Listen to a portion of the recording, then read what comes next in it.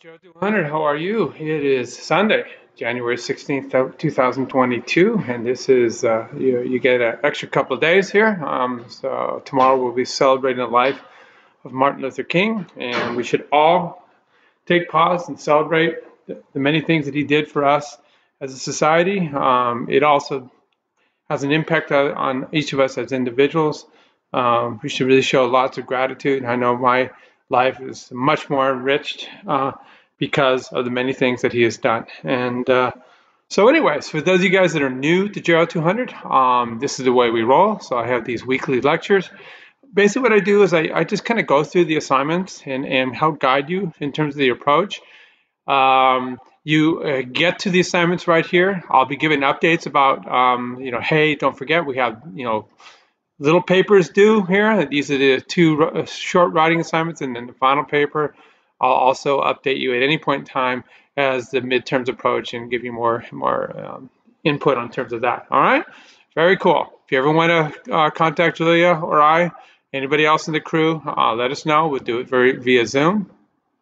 And uh, as Julia indicated, you know, things are looking better right there. You know, I am. Uh, I think you have hope that you know, um, within the week, maybe two weeks, we'll be back semi-normal wearing masks until we get rid of this thing. Okay, very cool, awesome. Uh, anyways, best class you're ever going to take, I promise you that.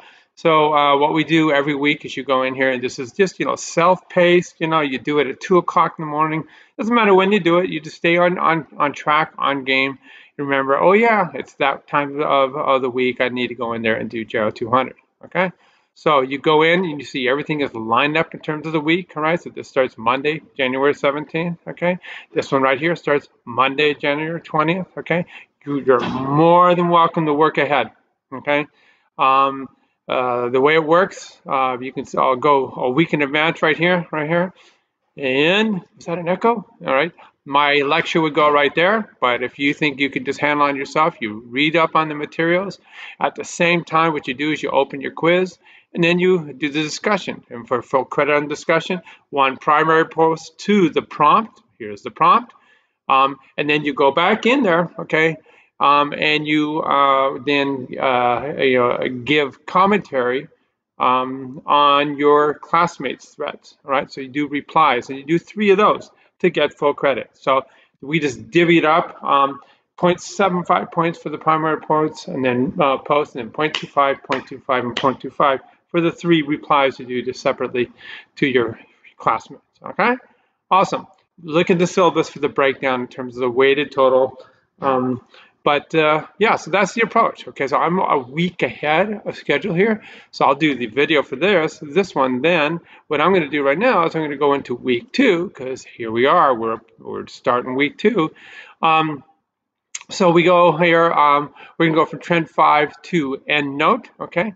Um, so what I would do um, is I would go ahead and I would just open my reading quiz like so. I would hit begin. Okay, awesome. So now I would look over the questions that I got. Every single week we have a, a pool of multiple choice questions. These same questions show up on the midterm and the final. Okay, we'll guide you through that. Don't worry about that. Uh, but you have your five questions right here. We have a pool of about 25 questions randomly drawn every time you take the quiz they're going to be different, okay? So you just kind of look them over. Which country has lowest public pension incentive for men to leave the labor market, all right? So that's going to come up, okay? That's a big issue in terms of business majors and econ majors. We look at global economics, that's the big one right there, okay? Because because um, the pension system is such a drain on the overall um, kind of spreadsheet uh, quicken books, so to speak, for each country. All right, that would be the gross domestic product. You have money coming in, and you got money going out, and you hope you're balanced. Okay, all right. So th that's what I would do. I would look through each one of the which country has the highest pension expenditure as a, as a percentage of their gross domestic product. So this is obviously we're going into economics in this particular section. Okay, on and on and on. Know, what are many countries doing to reform their old age insurance programs and to enhance income for older people? All right. So this is something that's um, uh, a big ticket item. Doesn't matter which president is running our country. Doesn't matter who's in Congress. It's always open to discussion, and that is um, the, the Medicare system, Social Security system, okay, and other forms of entitlement, all right? So, because it costs a lot of money, right? that's outgoing money, and the only way you're going to keep it going is to bring money in through taxes. All right, so that's how I would go about that. So then I would just go back in here, I would hit Blackboard. For me, I'd go right back into my course. Okay, so now I've got it open once and twice. So I would go back and forth from the quiz to the actual course.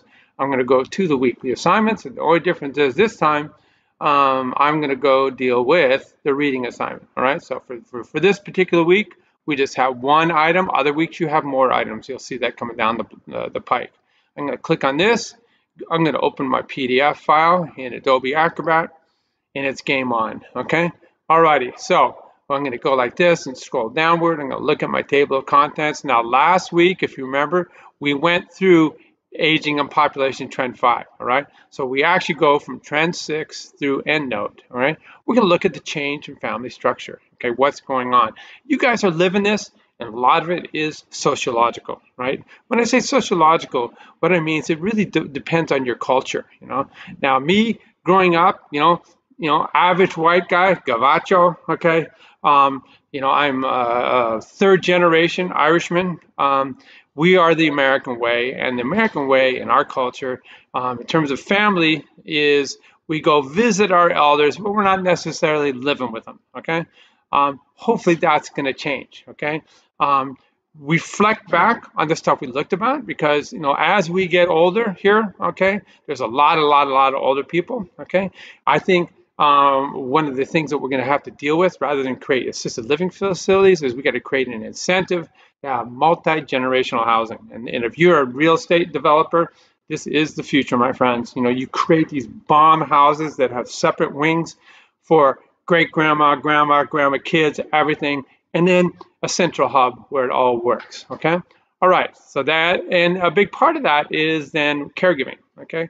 There's going to be caregiving for your children, but also as we scroll down here, there's the caregiving that, that, that does pop up when you have these non-communicable diseases of aging, okay? Right now with this massive communicable disease, okay, with uh, COVID-19, the disease consequent to getting the, the infected from the virus, the SARS-CoV-2 virus, um, there was a certain amount of caregiving support that was really needed, okay?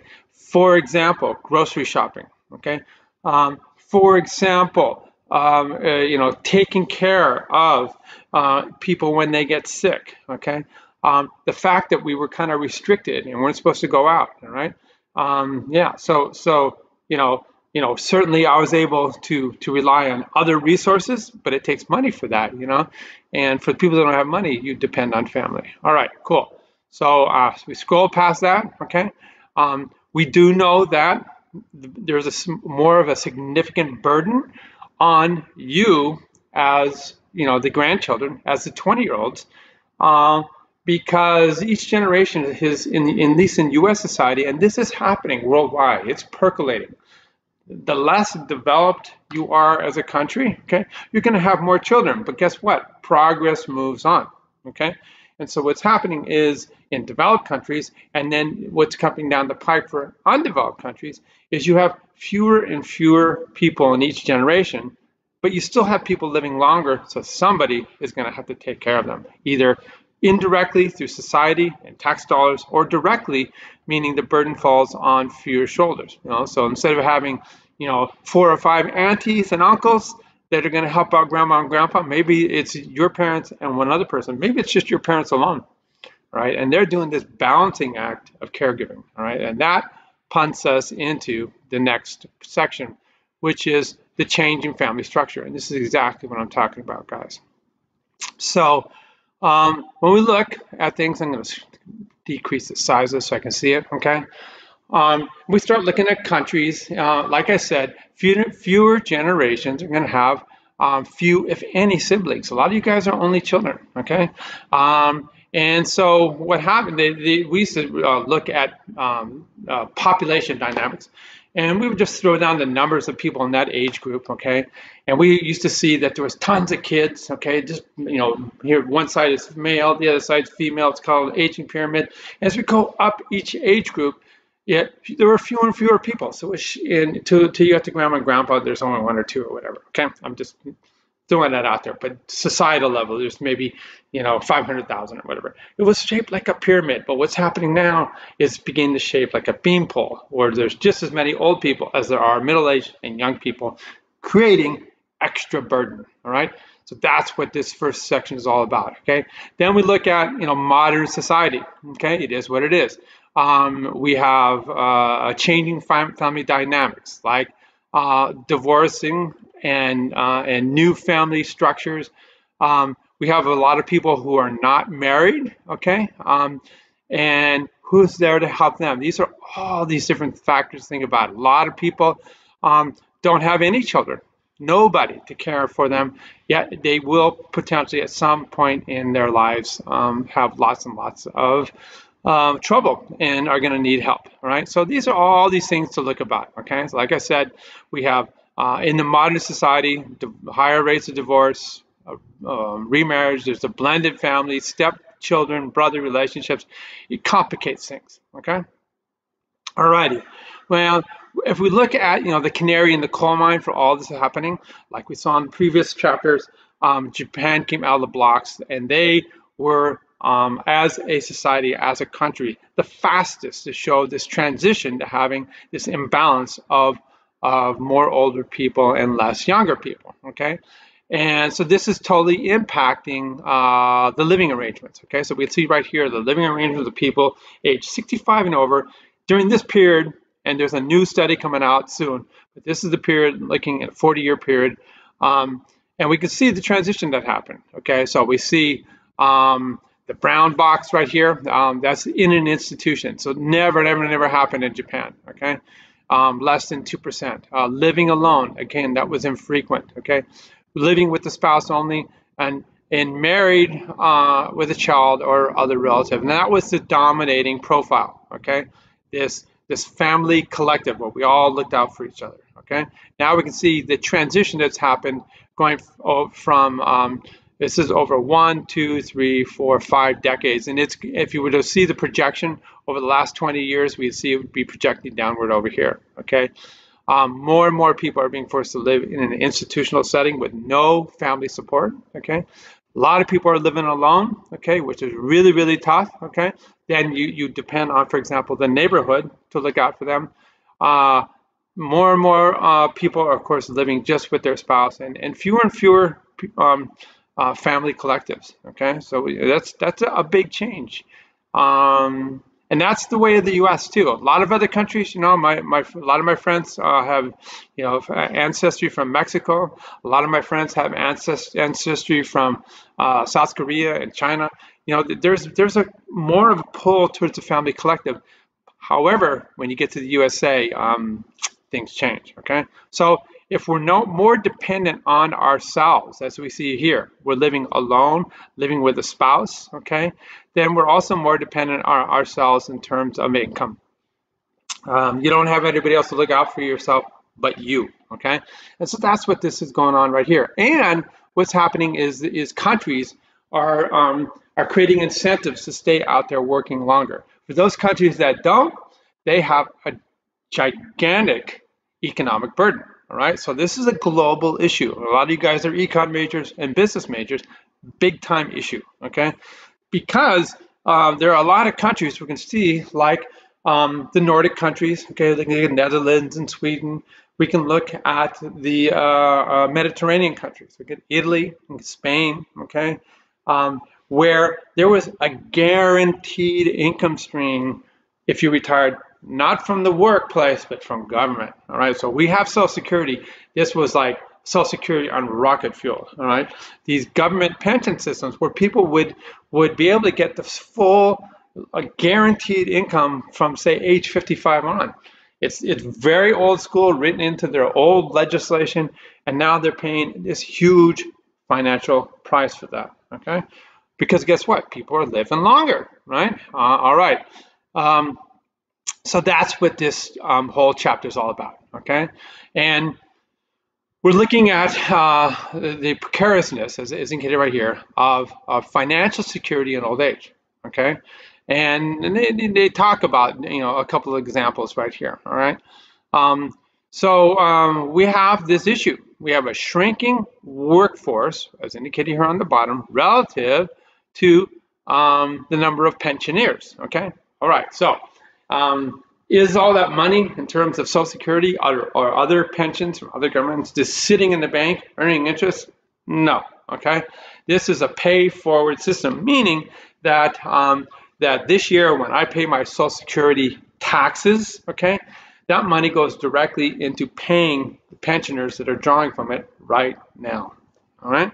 All right, there's fewer and fewer workers, more and more people drawing Social Security because we live longer, all right, you see what's going to happen here. We're going to have to raise taxes. We're going to have to do something, okay? Or, or, and this has been this uh, movement up front, is that we um, we uh, decrease the percentage of the Social Security you get if you retire too early, okay?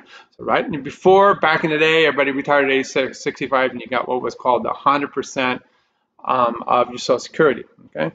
Um, now, um, it's right around it's um, 66, 67, 67 years of age. You get 100%, and you get punished. You get penalized. Okay, if you retire early. So let's say I decide at 62, I can't take this anymore.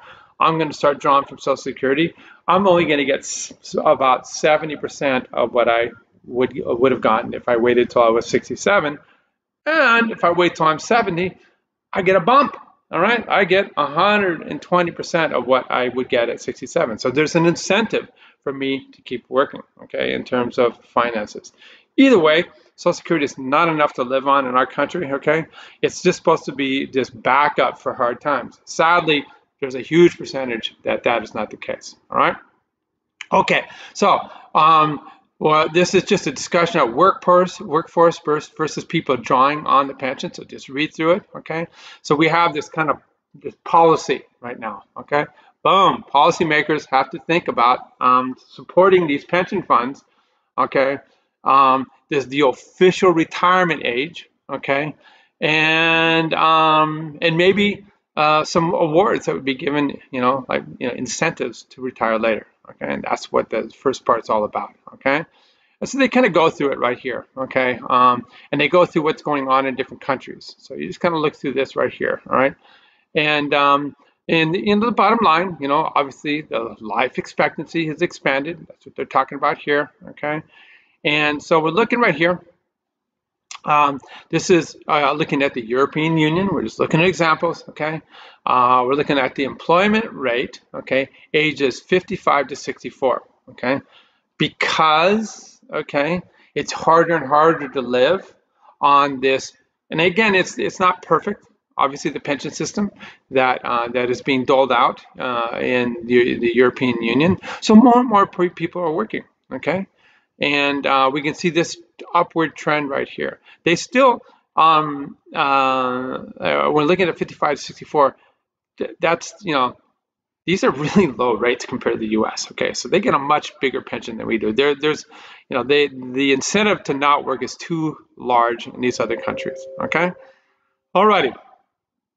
So um, let's look at um, the public pension incentive to leave the labor market. Okay, that's exactly what I'm talking about, and we saw that as one of my questions on my quiz. All right, so I would go back, you know, and find that question in my quiz by just going back to my browser right over here and finding the quiz, and here it is. I would be I would be going ahead and answering that, but I'm not doing that right now because I'm reading my article. Let me get back to the, my PDF file here. No, that's not it. I can get rid of that one, I was already looking at that. Um, let's go back to my PDF here. I got too many windows open, guys, because I'm just uh, I'm, I'm craving information. All right. Okay, so um, percent of men age 55 to 65 not working. Okay, in Japan, okay, um, there's not a great pension system, so people work longer. Belgium, Italy, Netherlands, France, they're doling out way too much money, so people are bailing on the workforce. You see, we're over here, okay, we're on the other side as well, all right?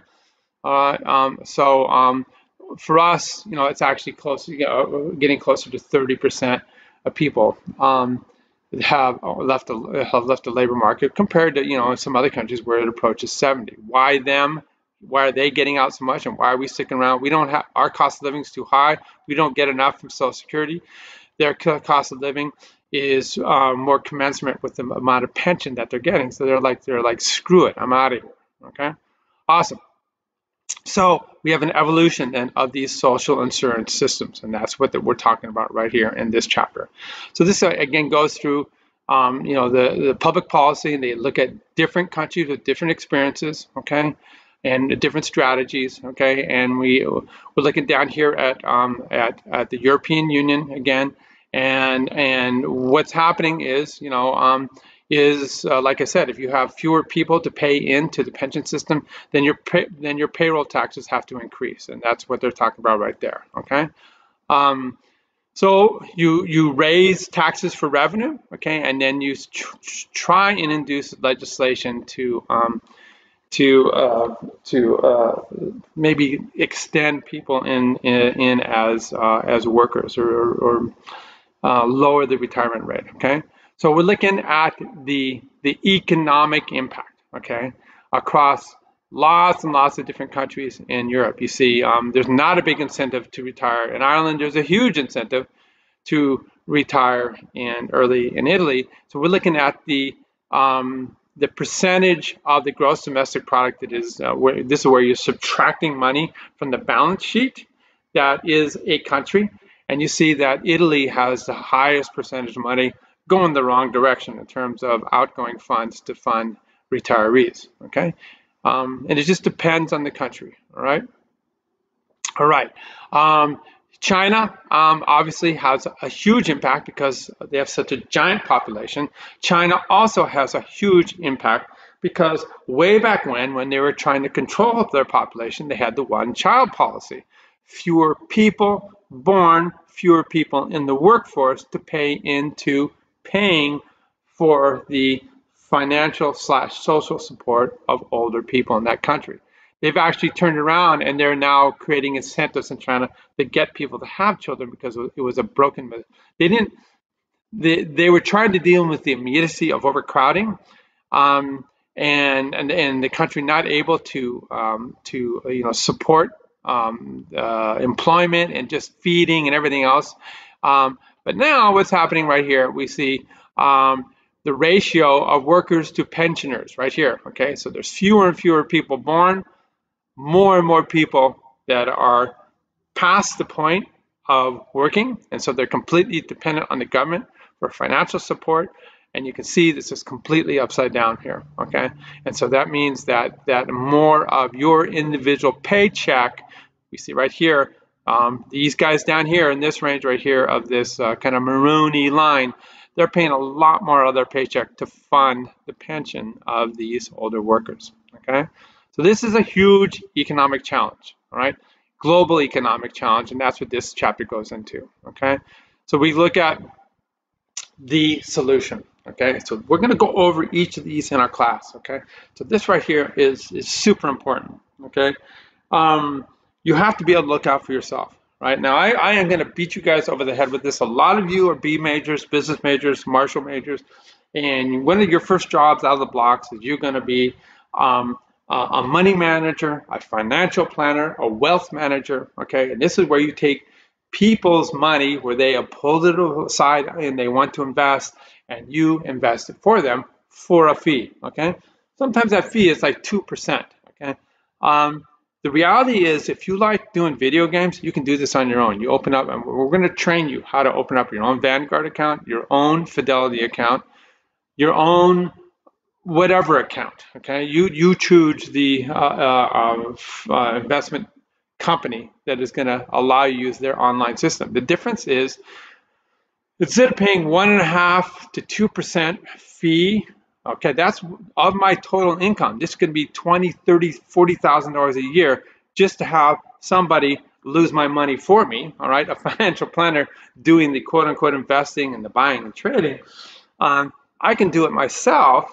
All right, through this online system, and the fees are instead of, of 2% or 0.01% or 0.005%, next to nothing. All right, so I'll pay instead of thousands of dollars, I'll pay a couple hundred dollars for the for the ability to use their website.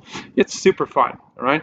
All right, so that being said, we're looking again. Remember those countries that were like uh, in trouble, trouble, trouble back over here? Okay, Italy, Poland, Germany, all these guys. Okay, so um, uh, their gross domestic product is being burdened by outgoing funds to pay uh, the the pension system. We come down here. Let's incentivize saving.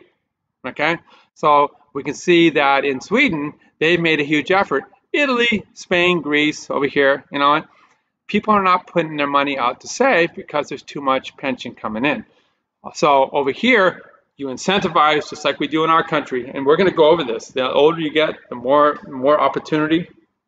Whether it's individual retirement accounts, IRAs, Roth IRAs, which we're going to train you how to do right now. Um, um, when you decide where you're going to work, maybe you're going to go to a company that has matching fund called a 401k, or, or if you're a, a nonprofit like UOC, a 403b. It's a big thing to consider, okay? And so what we see here is more and more of uh, these individuals and these, these, these countries that are trying to liberate themselves from this burden are incentivizing um, people to take their own money and invest either in stocks or big, big, big giant bundles of categories of stocks called mutual funds, which are the easy way, the low risk way for investing. You know, when you you know you have to be like a big time high roller gambler to invest in invest in individual company stocks. I'm just telling you right now. Alrighty, so we're looking right here. All right, the uh, the fact is, all right, when you're a little bambino here at age zero, looking at this teal colored line, okay, you're not consuming a whole lot other than I don't know, a little bit of breast milk, maybe some some formula, other than that, you're cool. Diapers, that kind of stuff, okay? Then as you get older and older and older, you're you are more of a consumer, okay? Which if you're going to be a consumer, you're going In-N-Out Burger, you're getting clothes, you're partying, you hit asymptote, and you have a steady state of consumption right here, okay? All right. Uh, so that being said, okay, are you, you know, as a as a 10 year old, are you bringing in the bacon? No, you're not. Okay, so that's what this uh, olive green line is all about here. So you're a major consumer, but you're not really balancing your consumption with the income you bring in in terms of labor market to about right here. Okay, then boom, now you get to the point that you're I am right now. Here, I'm bringing in so much money. I'm paying for my kids. Julie's paying for the kids. Okay, on and on and on. We're putting money away.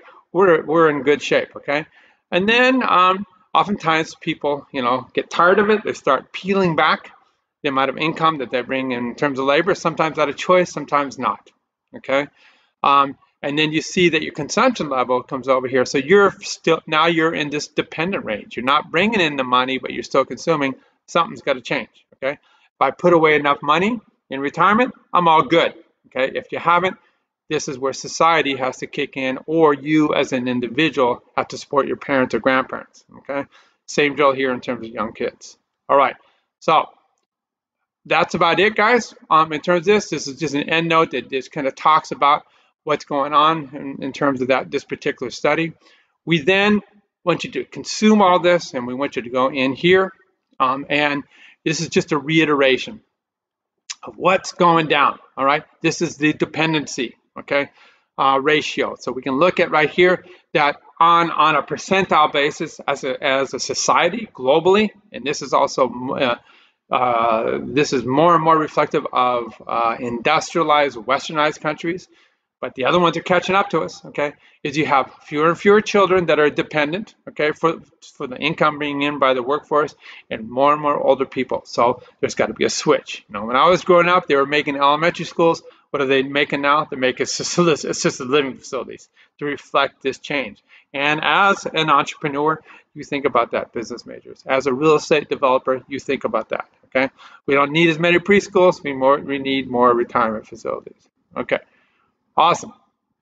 Okay, and then um, you know how quickly this happened. This transition is happening. Okay, so you can see um, uh, this again was from the prior readings, but you can see this this very very rapid transition in these countries right here.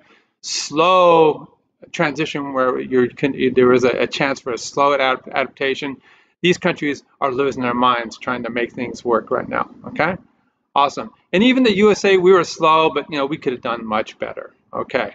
Um, you see India and China, you know, it is what it is. You have population momentum, meaning if you have ungodly numbers of people, even if you slow down the reproduction rate, you're still going to have ungodly numbers of people that are in this kind of older age group. And that's what we're talking about here in terms of millions. Okay. Do realize, okay, when we look at the global transition, so in about 2030 or so, India is projected to take over China as the most populous nation in the country. And then guess who's right behind India? All right. All right. So that's an African country. African country. Okay, so yes, yes, um, uh, Nigeria is going to take over as the most populous country in the world around 2050, 2060. What you're going to have to be dealing with then as as kind of a global community. All right, so now look at what we talk about right in here, and then we consider um, uh, Japan, where things happened so quickly. Okay, so it happened really fast for Japan, but Unlike these guys, it happened a long time ago. So they are the canary in the coal mine, okay? They are the beta site, okay? And we can see what has is happening in, in Japan, okay? Um, Japan is dying. All work, no sex means no future. That's it's an interesting uh, uh, uh, little documentary, a couple minutes long. Um, this is the crisis and how they're dealing with it, okay? And um, if you have a Business Insider uh, subscription, you can look at the short article. But if not, uh, we have the PDF file for you to download right there. All right, guys. Very cool. All right, I want you guys to have fun with this. Okay. Um, let's see if the Rams uh, can beat the Cards. Uh, I know uh, the Buccaneers just killed Philadelphia. You know, there you go, Tom Brady. Love him or leave him. Okay, and um, uh, that's it for now. So I'm gonna say peace. All right. And uh, good luck with everything, guys, and we'll see you next time.